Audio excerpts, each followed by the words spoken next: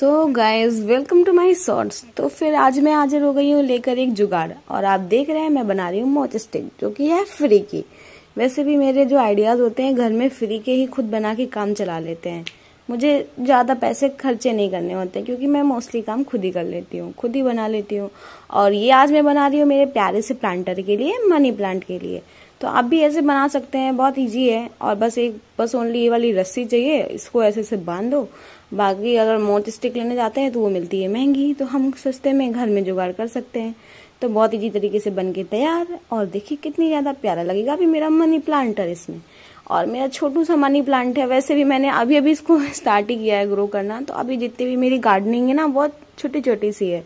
Starting से तो बड़ा लेकर आ नहीं सकते क्योंकि बड़ा प्लांटर महँगा मिलता है तो छोटे से ही काम चला लेती हूँ धीरे धीरे बढ़ ही जाएगा। और देखिए कितना ज़्यादा खूबसूरत लग रहा है।